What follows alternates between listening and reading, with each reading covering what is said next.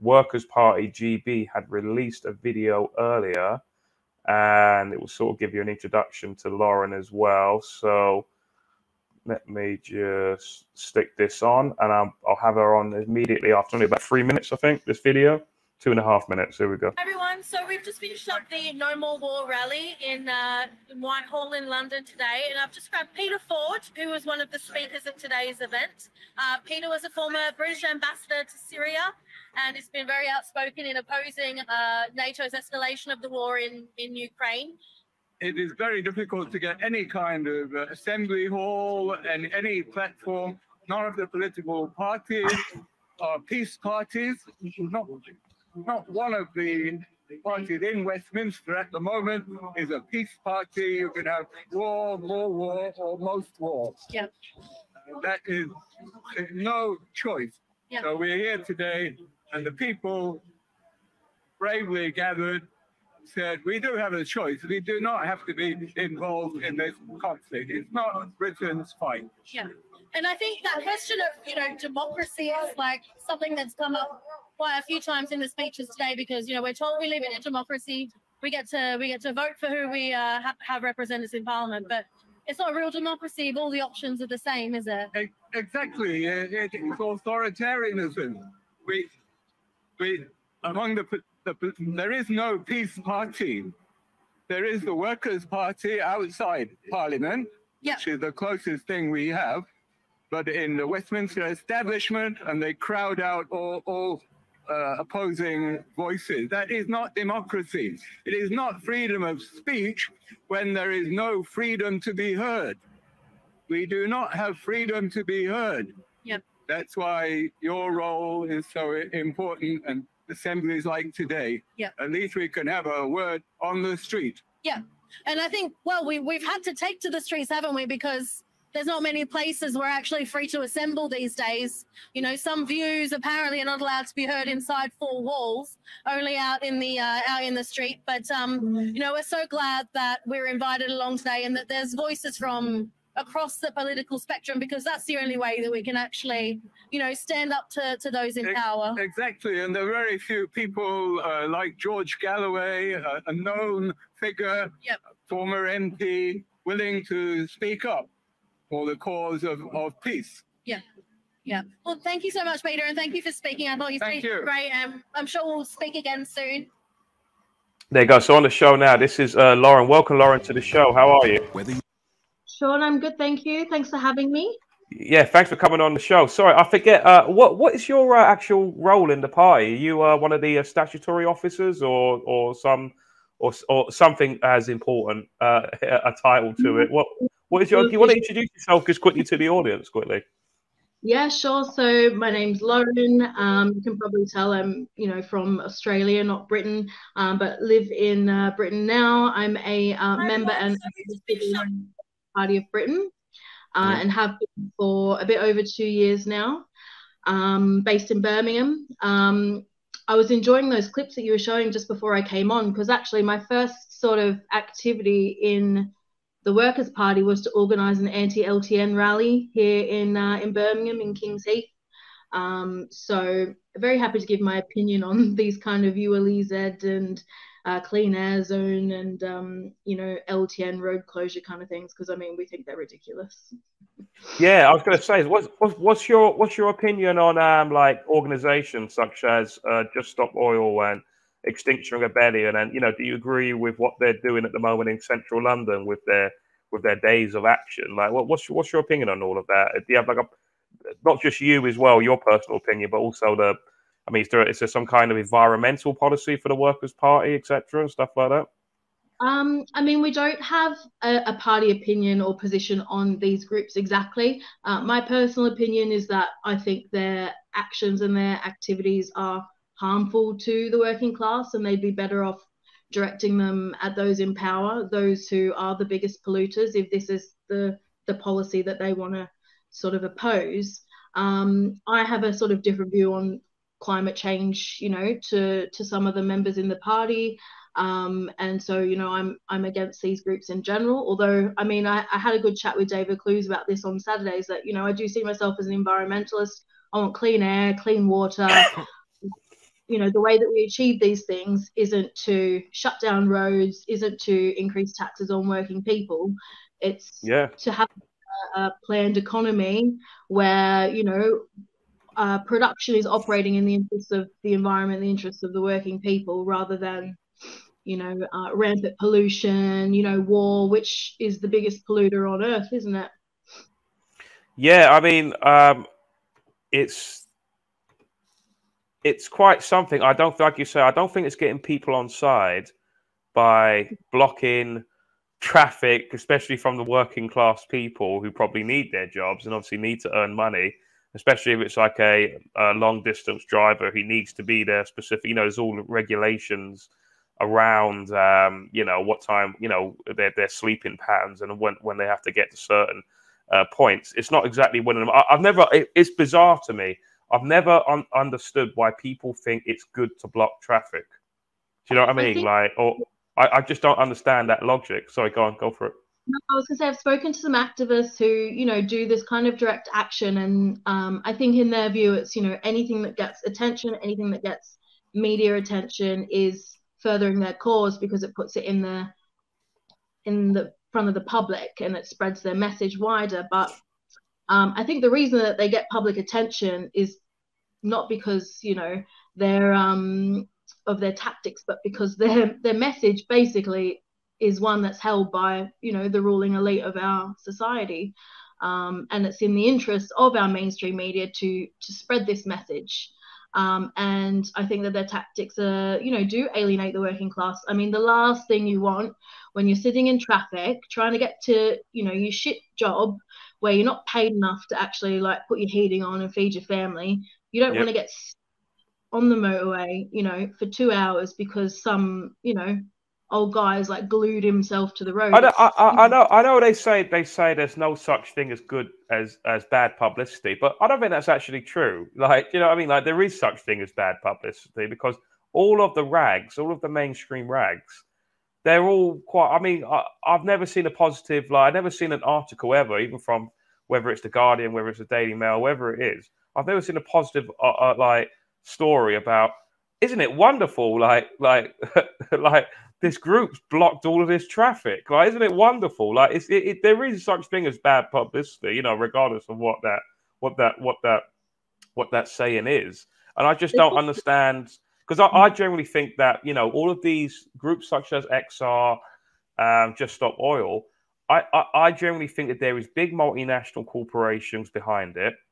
Um, they have unlimited money, so it doesn't really matter how they behave or what they do. These groups, they'll always have the money. Do you know what I mean? It's like, it, and and because of that, they don't operate in a competitive market as such. If you know what I mean, in the sense that if we do something bad, the people will punish us by not supporting us. Do you know what I mean? Yeah. That's how you learn. It's almost like a business, you know. That's how you learn. We better not sell this product or sell this service because no one likes it. And if we keep selling this service or selling this product, we're going to go out of business. That's sort of the same with all of these organizations, yeah. But yet, but yet, because they're paid, they get big donations from oil tycoons and you know whoever else, yeah. They yeah. they don't operate in that kind of competitive landscape. So it doesn't matter what they do, they'll always get the money. And that's what I mean. It's like I've never seen a positive spin on the whole blocking traffic kind of uh, method. Do you know what I mean? Like I, I just don't I don't I don't quite understand it. Uh, but anyway, uh, Lauren, tell us about tell us about the the work the Workers' Party in general. Please please do like when it came about. Uh, it's, it's a fairly new party, isn't it? I remember um, uh, George Galloway. He's your he's the leader of it, isn't he? And he made an announcement. But you want to tell us more about it, if you wouldn't mind? Yeah, absolutely. So um, the party formed uh, before I joined, but um, the end of 2019, sort of after the collapse of the Jeremy Corbyn sort of leadership of the Labour Party. Um, you know, we really wanted to harness some of that energy that was geared towards Jeremy Corbyn and some of his, you know, more uh, her, some of his policies that were more geared towards, you know, the working class and peace and that kind of thing. Um, obviously, we know that none of those things will ever happen within the Labour Party because, you know, they um, they will oppo- the party in general will oppose it at every turn. So um, the party started end of 2019. Um, we have a 10 point program, which um, you can find on our website. Um, mm-hmm. We are a socialist party, and um, you know we're we're not like a lot of the other socialist parties that you've encountered. I saw your your video on the Socialist Workers Party and um, oh, yes. support. What the... What do you think of the Socialist Workers Party? Yeah, then not not for me. Not a big fan. Um, go on, continue. Sorry, go on they give a lot of socialists a, a bad name really because i think a lot of people are confused about what what that actually means and i guess just to sort of put it as succinctly as i can is that you know we understand that we live in a class society which means you know there are people who work for a living and then there are people who don't have to work for a living because they own corporations and they live off the backs of other people's hard work basically and um, we think that's unfair and we don't want that to be the case. We think that the spoils of society should be shared amongst all, especially those who work for it. Um, and we want society to be run in the interest of the majority rather than, you know, a small ruling elite. Um, you know, we don't think that everyone should be sitting around on benefits and, you know, that kind of thing, which I think a lot of people think is is our the sort of socialist belief. But we want everyone to be in work, be contributing to society, and also be able to pay their bills and live a, a happy, enjoyable life. Um, and we want peace. So I think you know a lot of people will agree agree that that's a good aim. Um, and so uh, that's the the general sort of principle of, of the party. We have a, our 10 point program, as I mentioned. And um, point number one of that 10 points is uh, Britain's withdrawal of NATO um, and an end to you know imperialist wars because you know it's not in the interests of working people of this country to be involved in war it's in the interest of our ruling elite and um, i think that's one thing that is is so central to our belief is that you know our interests are diametrically opposed to the interests of those in power you know your bill gates your jeff bezos your Joe Biden, Hillary Clinton, etc. We don't have anything in common really. And um, if they want something, it's probably you know in our not in our interest. And if we want something, it's not going to be in their interest. And so that's you know those classes, you know, uh, it can't be reconciled. And so, well, yeah. ultimately we we want to replace them in power and have the working class in power deciding uh, its own fate. Yeah, I mean, um, that, I mean, I'm totally on board with obviously leaving NATO, and I've, you know, I've always. It's, it's funny because, like, I mean, I'm personally like a libertarian. I, am not. I'm not a socialist. Um, uh, personally, you know, so I, I'm not more because. No, I always believe that that kind of this is just me personally. It's not me trying to uh, debate that socialism, but I always feel as though that socialism leads to that kind of nanny state. It's just like a natural kind of result of it, if you know what I mean. That sort of nanny state authoritarianism. But that's just that's just my opinion to it. But saying that, I've always highly respected uh, George Galloway personally. I think the stuff he did in he was the one that actually set me on a path to being uh, political. You know, in that in that like waking up in a way, and I I didn't properly probably wake up till really about 2016 but I remember seeing Galloway in the early 2000s or mid 2000s. Yeah. I think it was mid 2000s when he went to the US Senate when they summoned him. And yeah. I remember watching that in my school uniform, in my secondary school uniform, watching this live on TV. I remember thinking, wow, even as like a young man, like a teenager, I remember thinking, wow, this is like amazing. You know, he's just put these guys because before him, before that speech he gave in, in the US Senate, I was genuinely a person that was totally radicalized by the propaganda of we got to get the terrorists, you know, we got to mm. spread freedom to the Middle East, you know, like this this nonsense, you know what I mean? Like I'll be like, yeah, it's great that we have troops over in Iraq, you know, at the time, or an Afghan yeah. after, you know, it, it, that's wonderful. And then I saw what this guy was saying, George Galloway, and I went, wow, I get, I get it now. You know, I get what this guy so he was actually the first person that put me on a path to. Um, no, I've, met I've met George as well. I went I went to the. You were at the event, wasn't it? Were you up on stage with him, the No to NATO event? I was actually there in the front row. I was actually live streaming it. Um, yeah. Unfortunately, I could I couldn't stay all day.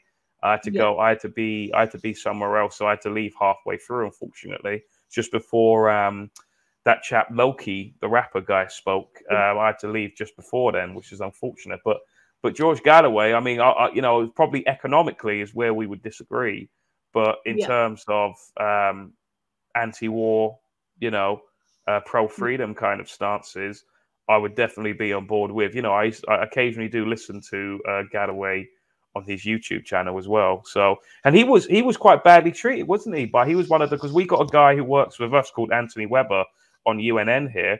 He was a regular contributor to RT, you know, Russia Today, and he Yeah. was just gone, you know, because they obviously got rid of the whole thing, RT UK, and that's why he works now with us on UNN. Like, what happened with? Uh, I know it's obviously you're you're speaking on for someone else now, but I, don't know whether George has spoken to you or whatever about it. But what happened with him? With because he got listed as what was it on his Twitter? Is it still there to this day? The uh, Russian State media. Russia Yeah, state is- media. is that yeah. still there to this day? Still there. It's nonsense. Um, I think from my understanding is that his show was uh streamed on RT, but it wasn't sort of you know he doesn't work for RT.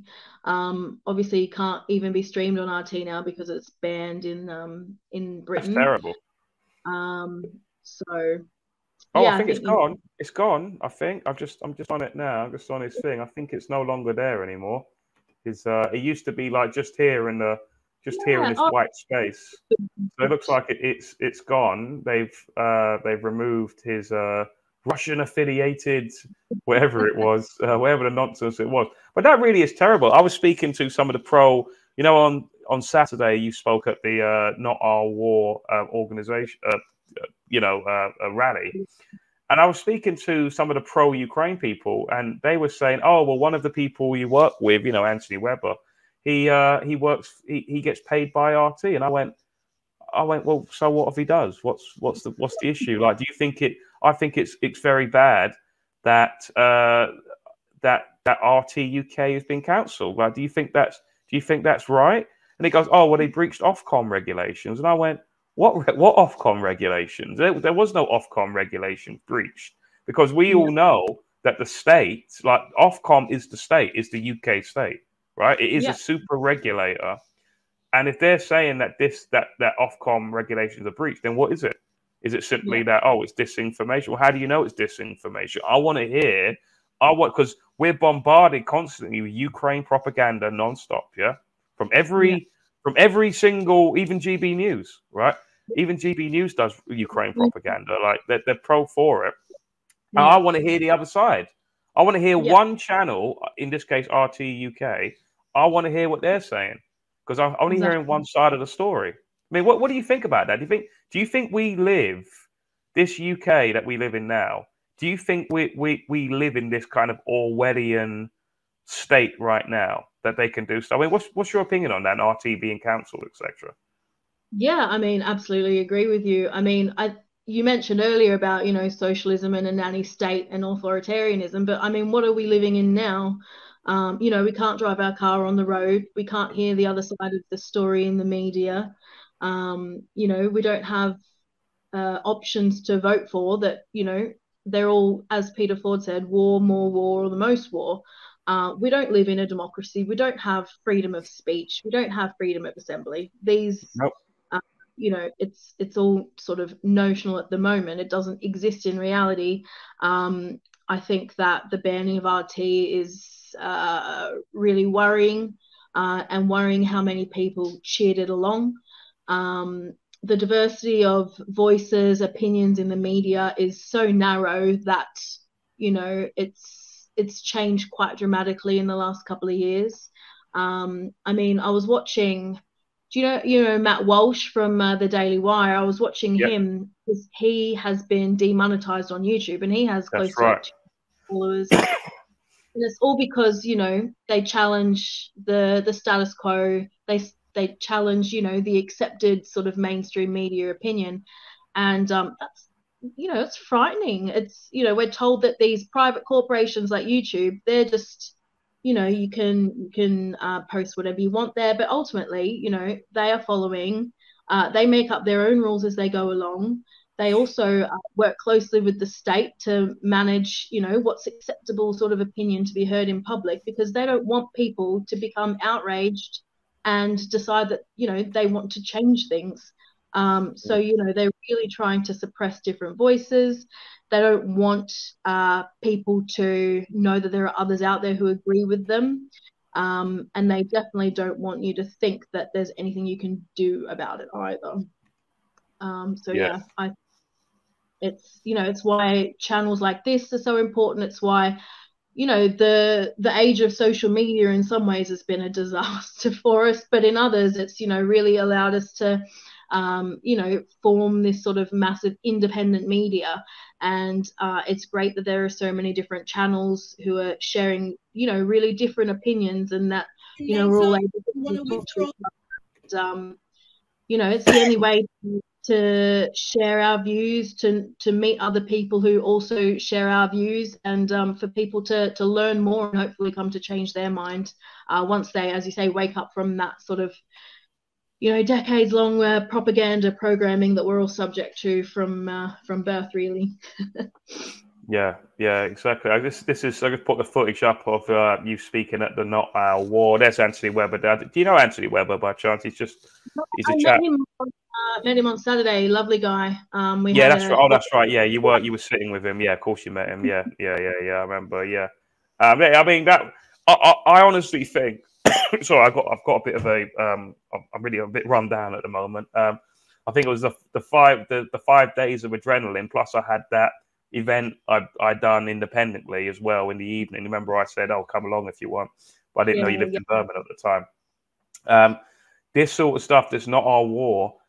Uh, there needs to be more protests like this. Like, let's not make it a one-off uh, event let's yeah. like take this like i mean you live in birmingham for example that's you know a big city birmingham is we should have a not our war one there do you know what i mean or whatever it is you know i don't care what the name is whether it's not our war whether it's no to nato whether it's whatever it is yeah. it's like they should have more of these and let's just yeah. not because you know that's how that's how you you grow these sort of organizations by having regular ones you know yeah, you won't get big numbers at first, but then once it gets into people's subconscious, they'll go, oh, hang a minute, not our war or whatever, no to NATO.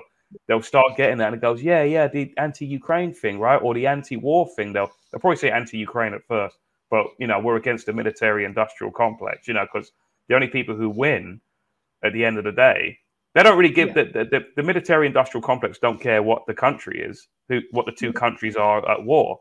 As long as they're getting sold arms deals and these yeah. and your taxpayers' money is funding it forever. They don't care what the geographical location of it is. But that was a great. I was listening to you. I was uh, I was somewhere over to the um, to the right over there. But I was listening to. I thought it was a really good speech that you gave, um, and it was really good as you for to come out as well because it's easy for the smears that you get from people. Oh, you're just far right, you know, because you you you agree with peace. Do you know what I mean? They go like far right has just become this anything I disagree with, you're in the far right category. You know, they go, I believe in freedom, far right. I believe in peace, far right. Um, yeah. I believe, um, you know, whatever. Like, I mean, what, what's your opinion on like the, the trans stuff, for example? Like, if I say, oh, I think a man is a woman, or whatever, yeah. I think that that's that's just a man pretending to be a woman. Oh, that's far right. Well, what, do you have an opinion on that? The I have very strong on this. okay, go on. Tell us yours, and then tell us if there I imagine the party doesn't have a policy on everything because that would be it'll go on forever. But what what's what's your opinion on that?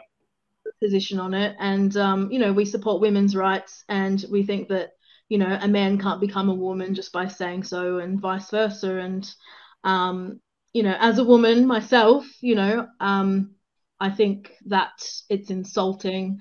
Um, it's really stripping back you know the the progress that women have made over the last de- few decades and um, I think the treatment of people like uh, is it Parker uh, Posie Parker is yep. just insane um, and you know I feel like we're living in this alternative reality where we all have to pretend that you know things are really complicated when they're really actually quite simple it's like you know, if you have a penis, you're a man. If you have a vagina, you're a woman. And that's, you know, there's nothing to it more complicated than that.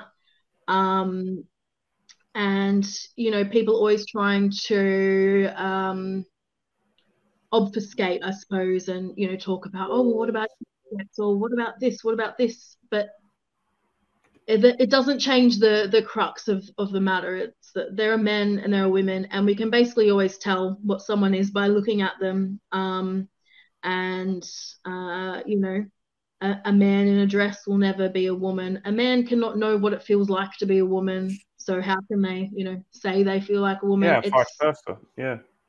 you know um i'm i've been called like a fascist for for having these views which is quite hilarious as someone as a socialist um you know our our party has been publicly criticized by other sort of left parties they've called us transphobic uh, homophobic Yeah. all of these Yeah, I know. I mean, that's that's just insane. I mean, I mean, you've got you've got people. I mean, I know obviously you've got you've got people like George Galloway, who's renowned for being a person of the left, you know, and and all of that. And then you've got people like Piers Corbyn as well, who again, you know, brother of Jeremy. You know what I mean? Like you've got all of these people, and they're called far right. I mean, Sadiq Khan recently at a one of his uh, town hall meetings in the Ealing one, the sort of infamous one now. He he called basically anyone who opposes the ULEZ extension, uh, the Yeah. ULEZ expansion, is is aligning themselves with far right Nazis. And then a guy Yeah. leading because he was addressing the chants outside the building, you could hear it through the inside of the building. And he's going, "Oh, th- those people are far right, you know, Nazis or whatever, whatever the uh, whatever whatever buzzword bingo he said." Um, Yeah. And it's just like literally Piers Corbyn is leading the chants. you know, it's Yeah. like, what are you talking about, Sadiq? I mean, what what's what what is uh what does the does the uh, Workers' Party have a policy on the uh, on the ULEZ expansion, for example? Like, what, what's what's your opinion on that and the parties?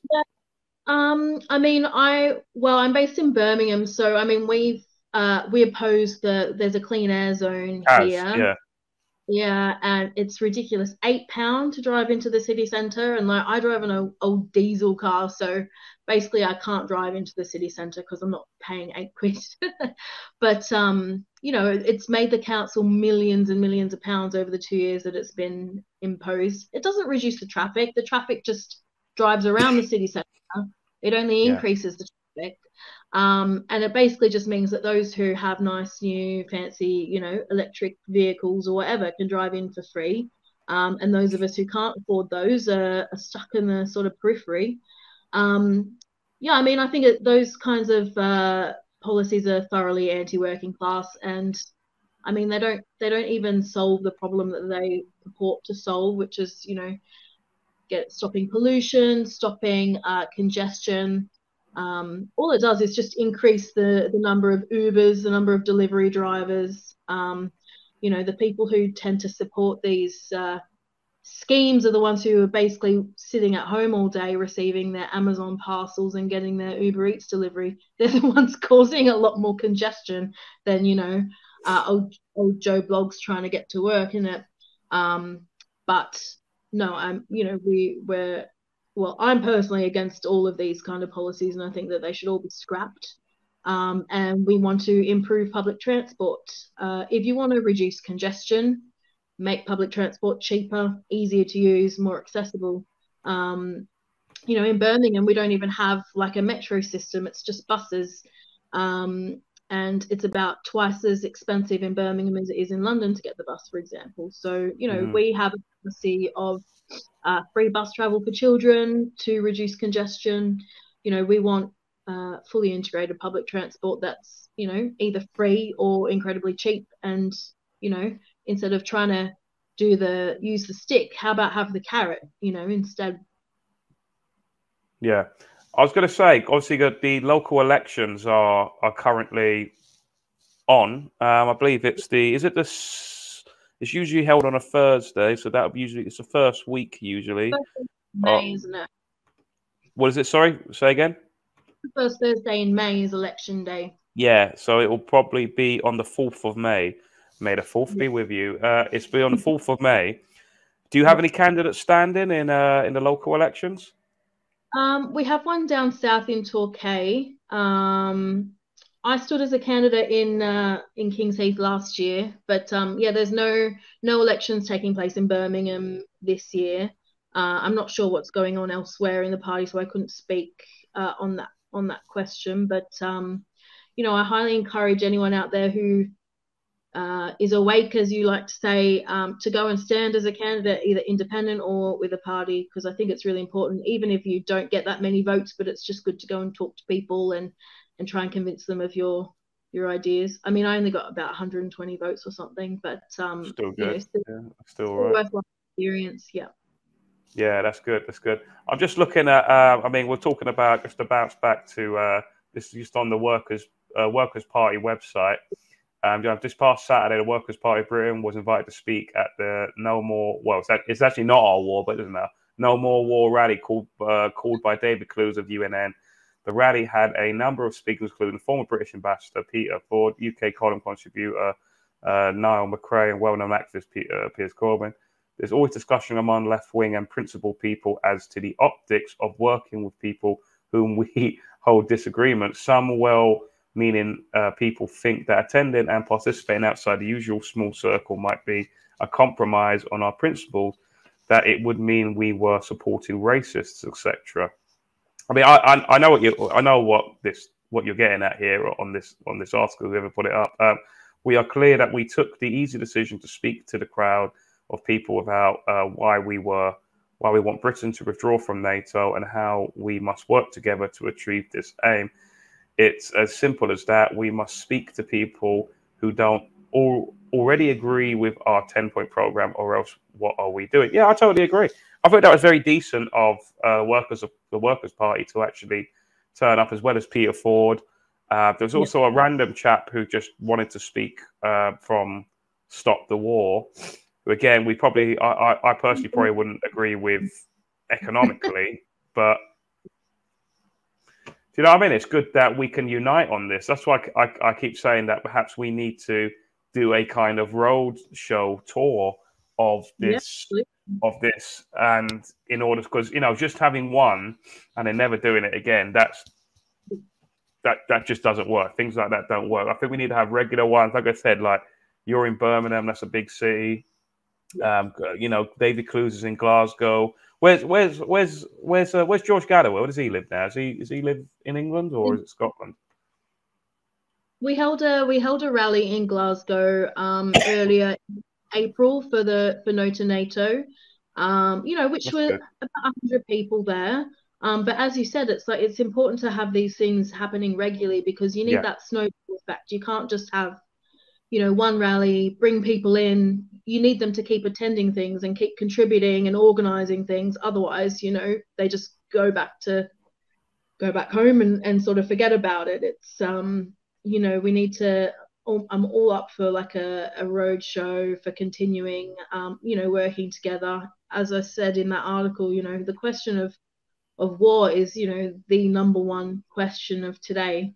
Um, yeah. Because everything else is secondary. If you know, there's a, a nuclear escalation, isn't it? It's like you can't can't argue about pronouns if you know there's nuclear bombs dropping. Uh, exactly. Yeah. Exactly. I think that's what they want, Lauren. I mean, what what do you think the bigger agenda is here? Like, do you think that they want? Hit, hit, let me just for your answer. Here's my kind of take on it, and I could be wrong. You know, is that I think that the establishment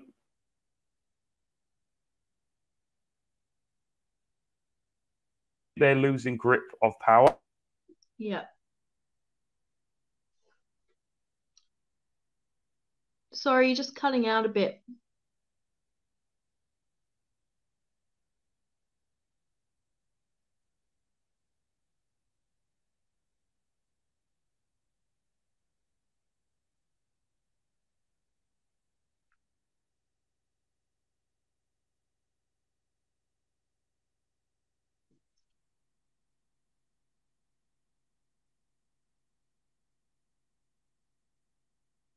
They lose.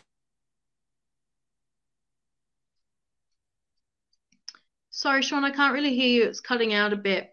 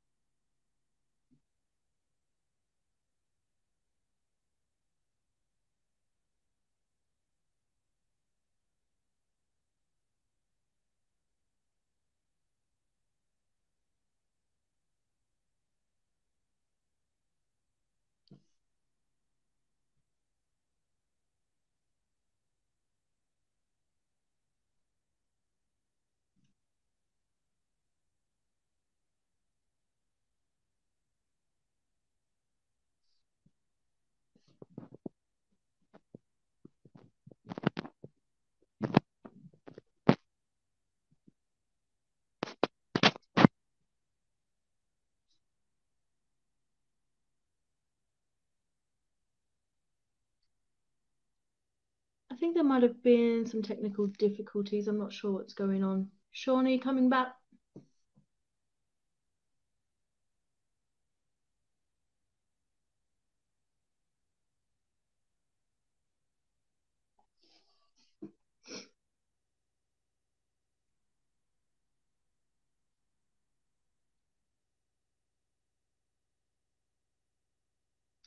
Not sure if this is still going live or whether there's anyone listening, but while I'm waiting for Sean to come back, I just want to plug um, this pamphlet that the Workers' Party has just published. It's called The Ukraine War The Origins of the Special Military Operation.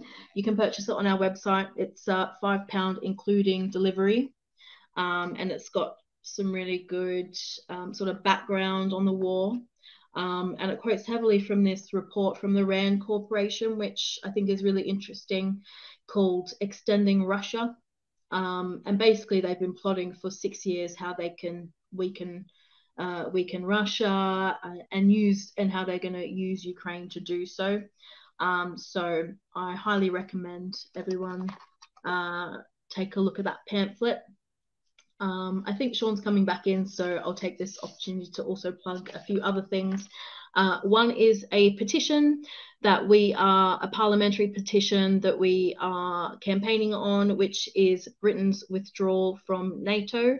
Um, so we want to invoke Article 13 of the NATO treaty uh, and withdraw Britain from that alliance uh, because it's bad for the people of Britain, it's bad for the people of the world. And, um, you know, the first step to weakening NATO and weakening imperialism is to withdraw from NATO. Sorry, Sean, I've just kind of hijacked the show. do you know what? Thank you. For, it. that's very professional for you to uh, do that, actually. Yeah, just carry on with uh, just a mysterious fault like that. Yeah, I don't know what happened there. I do apologize, guys. It just went off. Um, sure whether I was so. just saying that. What did I mean? Did you explain what your opinion of it was? The question I asked. No, I've been plugging my um our party's pamphlet on the Ukraine war, but um, I, that that is that is brilliant that you can do that though. That just shows that you are a high functioning um, uh, business person that you can do that. Well done for that. A lot of people will sort of freak out then if that happens. Um, but thank you very much for for doing that uh, for taking over in a way until I passed that uh, until I came back on again. But I was I was just saying I was just saying um, what do you think this is all about? Because I, I personally think that the establishment, or whatever you want to call it, they're losing control of the narrative, the the conversation, whatever it is, and they need a big war, a distraction, because wars in themselves, like World War One and World War Two, they were essentially great resets. Do you know? Do you know what I mean? It's just like they need a World War Three or some big conflict in order to distract people and and also you know get a lot of people killed as well obviously because that's what war produces unfortunately it's what, what do you think? Like, is that is that just me being a being a conspiracy theorist? Like, what's your opinion on that? I mean, I don't think you're too far off the mark. I think you know the system. I mean, I would take a, a more economic analysis, and the the system of, of capitalism is kind of reached its you know almost a breaking point. I do think that we are seeing like a total decline of Western empire. Um, it can't keep up with the profitability of you know China's industrial strength, for example. Um, and, you know, the Western economies are weakening.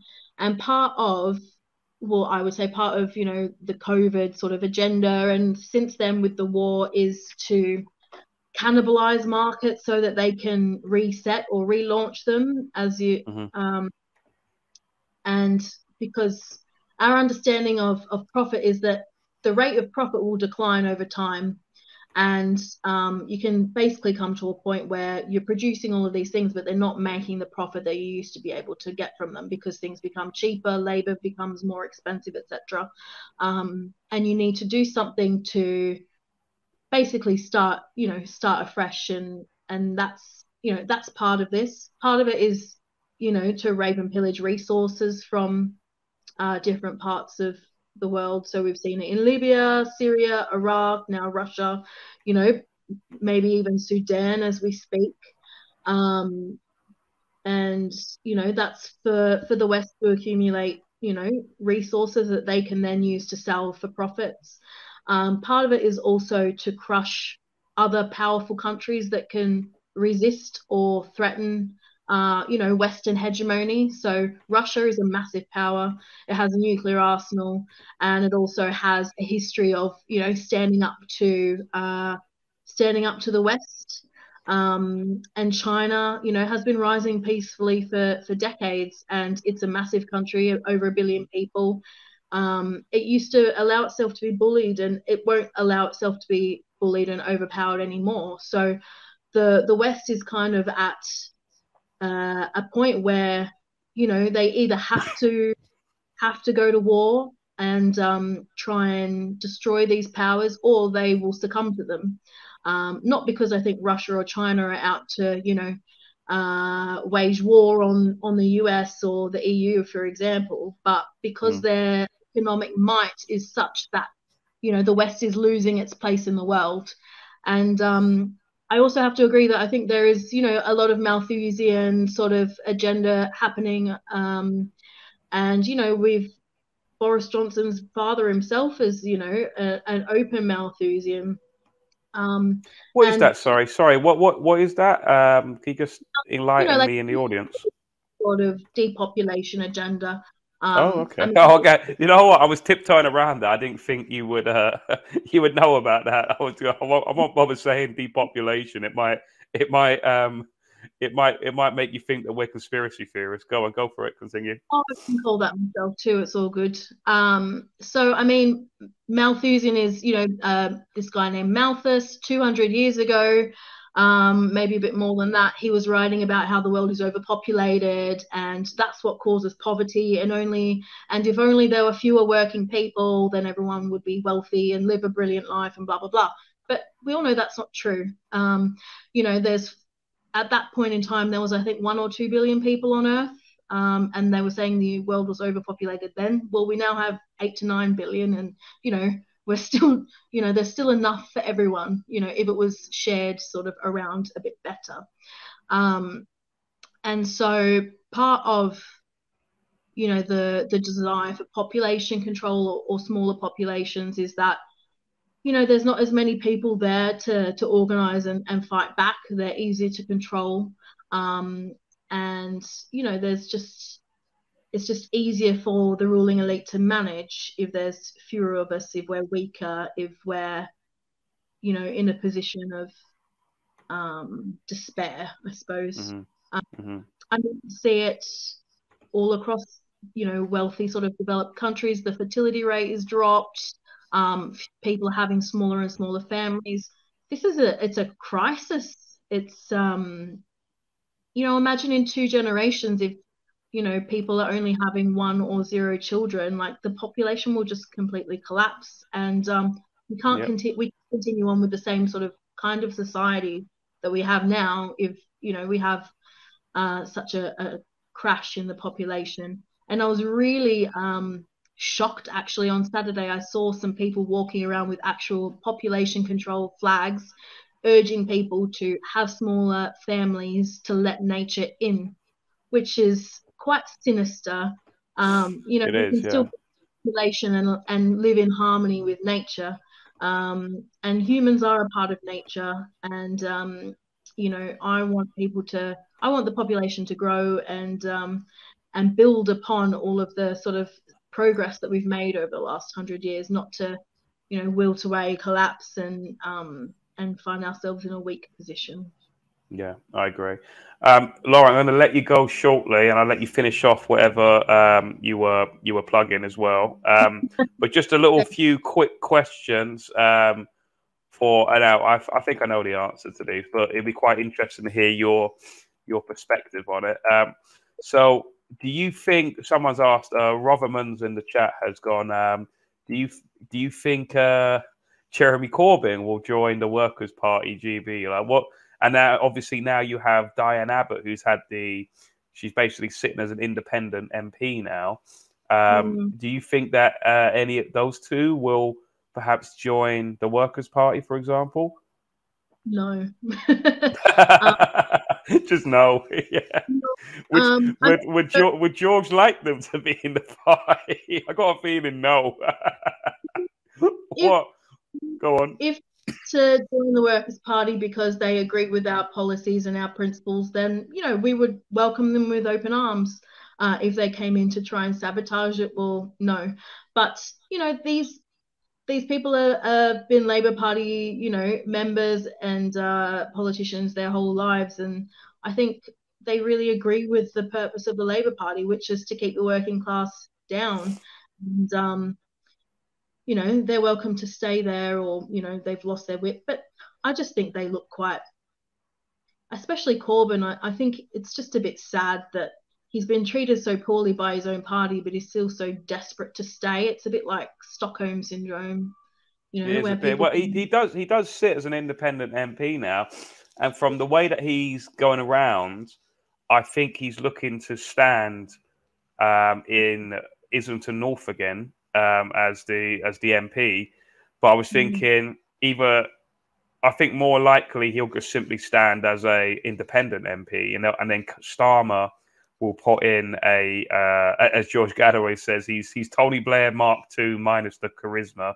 Keir Starmer mm-hmm. is, um, but Starmer will probably put a Labour candidate in to try and beat uh, Jeremy Corbyn, or will Jeremy Corbyn create his own party? And if they do, Lauren, I'm going to put money on this. Yeah, I've got the name of the party. I'm going. I'm going to. I'm going to bet if Corbyn does create a party, if Jeremy Corbyn does create a party, he will call it solidarity. That's what he'll call it. Solidarity. That I, I, I that's my money. If I, if he does, I think it's more likely though he'll stand as an independent MP. But I don't know. I mean, he's got that organisation, the truth, the Truth and Justice one, or whatever it's called. He could technically turn that into a party if he wanted to, but I don't know. I don't know. I think um, you know, starting a, a party from scratch is a lot harder than what. Oh yeah. You know, even with a big name, you know, like Jeremy Corbyn, um, because I think ultimately a lot of the people who supported him are not going to be the ones out there doing the groundwork to actually organize, you know, a new party. And uh, a lot of people just like to consume things on media, like things and share things, but whether they're actually willing to go out and, and do the work is another question. Um, but I think he's he's kind of a bit past it now to to start his new party. Um, yeah, maybe, maybe, yeah, possibly. Got a question on the screen here, Lauren. It says uh, from Ferdo of Lambert. Lauren, did George manage to quit the fags? Yeah. did, did, did him smoke a cigarette, so um, he must have. Yeah, yeah. I've never seen him smoke either. I've never seen him outside a building smoking. So last year, so um, I've also managed to quit the fags. well done, well done, Lauren. Well done for that. But anyway, Lauren, I'm going to let you go. Thank you very much for coming on. Um, is there anything you want to say finally to you want to continue whatever you were doing when I was when I disappeared shortly? Uh, what got, tell us got any final parting words? Go for it, Lauren. Yeah, so um, you know, just the the pamphlet. Maybe you could share the link in your Telegram chat or something. But we're selling this pamphlet on the um, special military operation in Ukraine on the Workers' Party website. Um, we've also got our parliamentary petition going about Britain's withdrawal from NATO. Um, and can I ask that people please follow the Workers' Party Telegram channel? Um, there, there's a lot of videos and a lot of articles sort of coming out, which we think you know your audience might be interested in. And um, yeah, just uh, keep keep up the good work, and thank you so much for for having us on. And hopefully you'll invite me back again soon.